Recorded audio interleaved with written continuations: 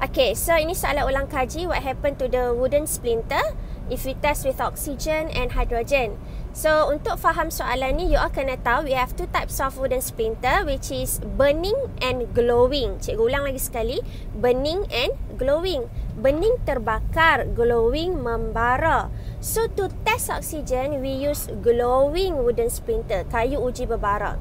Kita masukkan that glowing wooden splinter into oxygen. So, what happened? That glowing wooden splinter tadi tu akan relight. Kenapa dia akan relight menyala semula? Because oxygen support combustion. Tapi untuk hidrogen dia lain. Kita kena pakai burning wooden splinter.